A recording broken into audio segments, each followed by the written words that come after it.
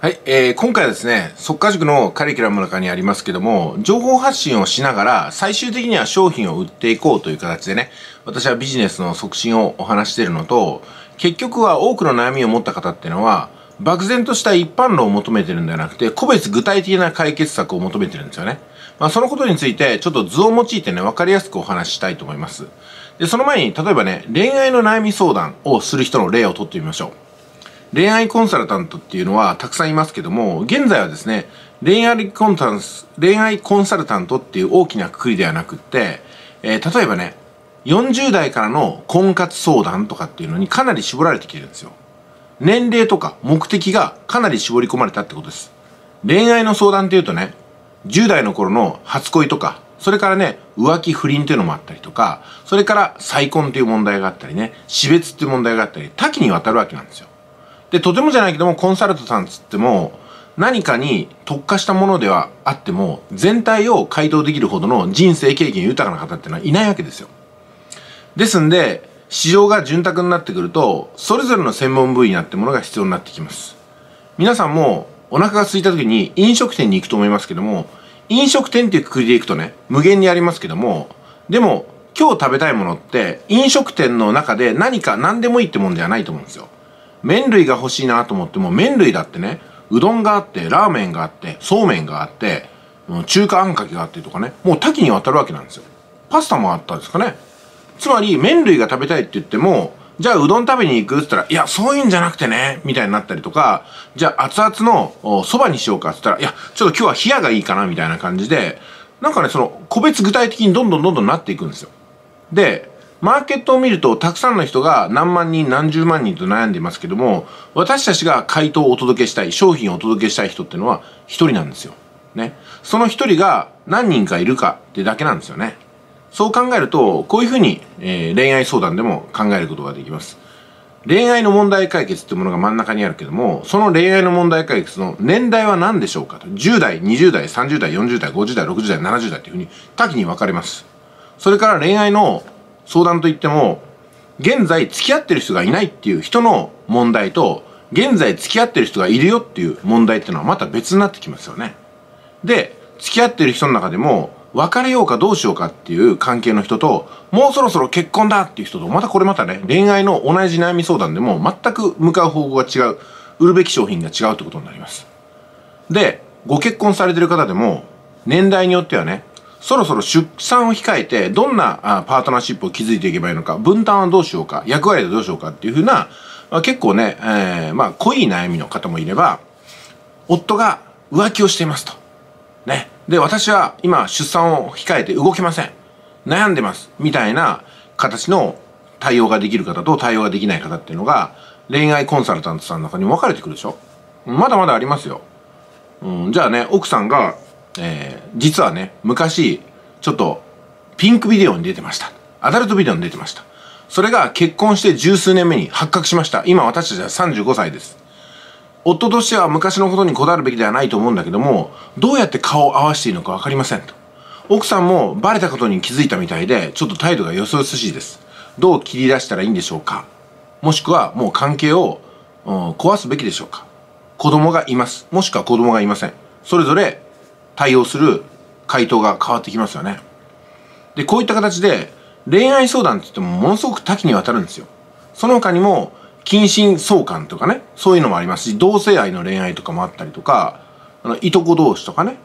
うん、なんか様々あるわけですよ。だから、情報発信者として、あなたはどれの専門なんですかってことを整えていかないと、そもそも発信ができないわけですよ。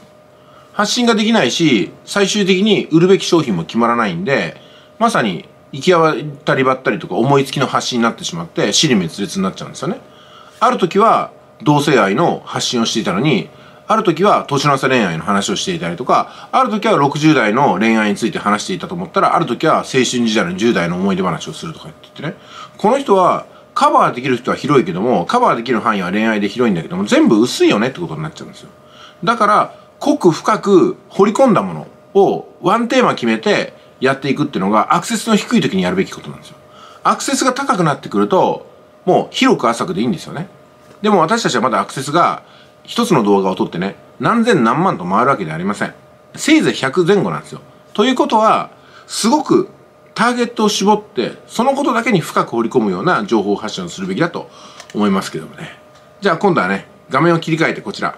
職場の人間関係について、え実例を出していこうかと思います。職場の人間関係っても結構ありますよね。例えばね、退職寸前の人の職場の人間関係の悩みと、入社してまだ1週間目の人の職場の人間関係の悩み、全く違うの分かります？あとはね、部長から見た職場の人間関係、社長から見た職場の人間関係、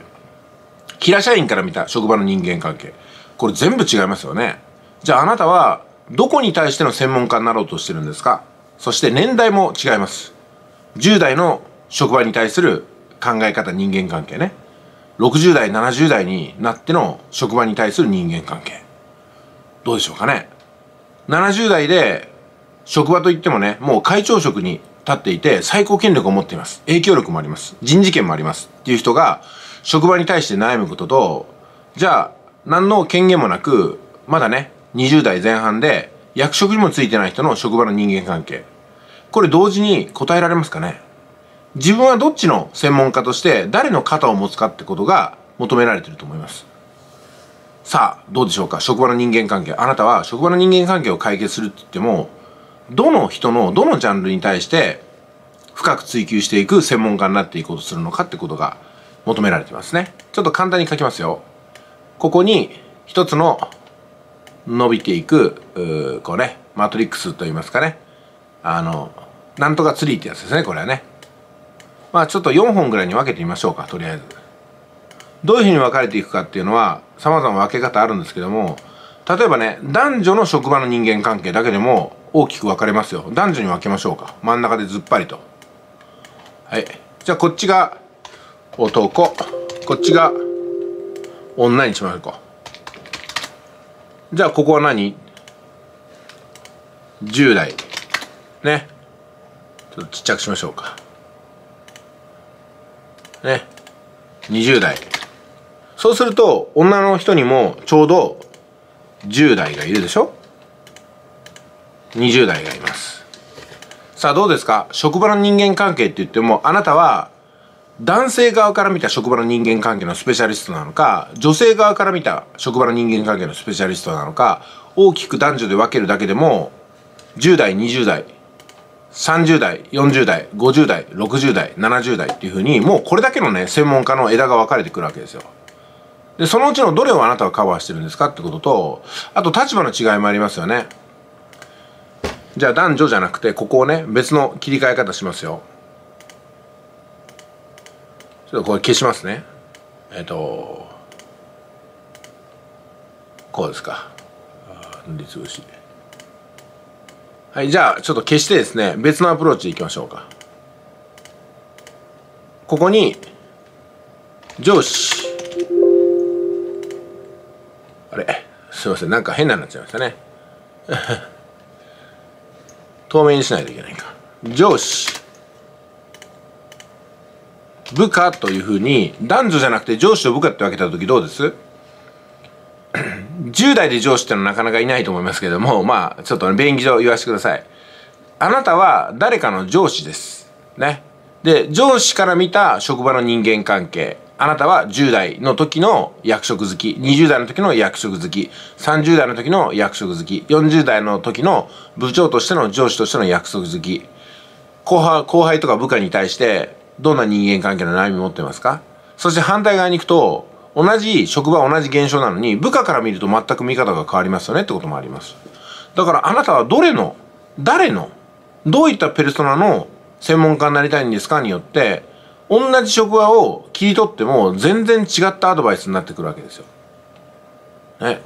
らそういうことを決めるとこれがバックエンドになります。でそのバックエンドに誘導するためにフロントとしてね無料動画をたくさん作るってことになります。ですから部下との関係に悩む上司40代の部長に寄り添う発信をするんだったら結局はね部下に対してどういうふうに接していこうか部下の要求をどこまで受け入れて部下にどれだけ、えー、上位形をするのか要するに強制力を発揮するのかっていうことをバランスしていくっていうようなアドバイスになりますけども同じ現象でもね今度は部下からしてみたら部下は10代で、20代でまだ職場経験がないと。でも上司はベテランの域からなんか物を言ってくるから、鼻につくし、言ってることをよく理解できませんってことになってきて、上司に対して仲良くなれないんですとかね、素直に受け入れられないってことになっちゃいます。そうすると、さっきまで上司の肩を持って部下に対してどう接すればいいのかなっていうことを考えてたコンサルタントさんは、今度は部下の立場から物を言うってこともね、同時にやることになります。できる人はいいんですけども、そうなると、自己矛盾をこの中に起こすわけですよね。まあ、ですので、えー、私がお勧めする形としては、私はね、例えばですよ。私はまあ、あの、新入社員としてサラリーマンしたことありますけどその他全部人を雇ってる社長という立場だったんで、社長からのアドバイスは強いんですよ。でも、新入社員とか、あの、出世を目論むね、課長とか部長の気持ちはそんなにわかりません。私は出世をしたことがないんで、新入社員と社長しかやったことないんですよね。まあ、そう考えていくと、私の考えっていうのは、あじゃあ中間管理職に対してどういうふうなアドバイスをしようかってことにはならないんですよね。もちろん中間管理職としての知識、見解を詰め込んでいけばね、体験に勝るようなアドバイスできると思いますけども。じゃあ職場の人間関係という形で、抽象的なあ情報発信をしようかなと思った時に、あ、これじゃダメだなとバックエンド売りにくいなってことに気づくんで、じゃあ職場の人間関係っていうテーマなんだけども、実際にはどんな立場の、どんな年代の、どんな性別の人から見た問題に対して解決していけるだろうかっていうふうな、より具体的なペルソナを整えると、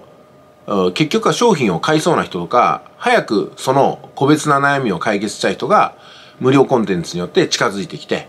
で、えー、その中で信頼関係ができて、商品を売るステップまでスムーズに進むってことになります。ですので、発信が多いとね、うん、結局は顧客数が少ないうちに発信のジャンルを広げちゃうと、うん、まあ商品は定まりにくいですよね。で、例えば、セールスのためのセミナーとかズームをした時でも、うん、あの、集客された視聴者さんの方が、自分とは全く関係ない商品のセールスが始まったっていう風になっちゃうと、まあ二度とやってきてくんないですよね。ですんで、結局、ズームのズームにしてもね、私はズームを対応するんですけども、ズームのタイトルとかテーマってむちゃくちゃ大事なんですよ。で、そこに人が来たってことは、セールスのチャンスがあるってことじゃないですか。でも、漠然とすぎるタイトルで集まってきた人って、一体何を求めてるのかわからないんで、その、対談とかね、会話の中身っていうのも、セミナーの中身っていうのも、むちゃくちゃ決めにくいんですよ。つまり商品売れないんですよ。セールスに失敗する例はこれですよね。だからはっきりとターゲットを決めて、その人のニーズをちゃんと満たすようなステップでお話を進めることによって、セールスが効果的になってくるんですよね。はい。えーと、一旦これでいいですかね。はい、どうだったでしょうか。あ結局、この、なんかね、なんとかツリーってやつありましたよね。なんとかツリーっていうのはまず一つここに漠然とした抽象的な概念を求めていて、それをちょっと具体的にするツリーを伸ばしていくと。で、その伸ばしたツリーから先に枝葉が伸びるようにもっと細かいことがあるって感じですよ。だから私たちは、うん、なんかお金の問題解決っていうね、あのテーマで即価塾っていうのは発信してますけども、結局悩みのほとんどはお金で解決できるっていうふうな、あの、最終的なバックエンドがあるんで、セールスとしては即価塾1個をね、売るっていうことになるんですよ。で、商品がお金の問題解決即価塾ってものなんで、あの、投資だろうがね、MLM だろうが、あの、サラリーマンだろうが、あ高校生のアルバイトだろうが、何でも声なんですよ。どんな悩みもお金で解決できる問題に関しましては即価塾来てくださいってことなんですよ。ただ、お金が全てじゃないです。お金があっても解決できない問題っていうのは、ちょっと難しいから私の範疇の害になるかもしれないですねってことなんで、上級クラスに入っていただくってことになります。上級クラスではお金がしっかりある人が、お金でも問題解決できないことをお金以外の方法でね、どのように解決していくかってことをやってますね。はい。ということなんでね、えー、まずは、あの、職場の人間関係っていうテーマで発信する際は、職場の人間関係のどんな人に向けた、どんな悩み解決なのかっていうふうなね、さらに専門的分野になった方がいいかなと思います。あの、お医者さんでも、はい、医者ですって言うんじゃなくて、歯医者もいれば、内科もあれば、外科もあるでしょさらにその中で、神経科とか精神科っていうのはやってることが全く違うんですよ。同じ医師の免許一つでも、専門分野は全く違うんですよ。だから医者なら全部できるかって言ったらできないわけですよ。ね。内科医がね、外科手術できるかってそれだけでもできないわけですよ。うん、そうなってくると、じゃあ、職場の問題解決ですよって言っても、あの、結局ね、相談してくれた人が、あそこは専門外なんですっていうふうに言わないといけないことっていうのが結構起きてくるんですよ。ですんで、集客の段階から自分のセールスできる商品と関連付けた無料の動画配信を繰り返していかないと、全然こう的外れな人が来ちゃってね、セールスが全然ダメでしたってことにもなりますんで、うんやっぱりね、お互いのためにも、あの、発信者のためにも、情報を受け取る人のためにも、まず商品があって、その商品のフロントとして無料動画を量産するっていう風なルートを引いた方がいいと思いますね。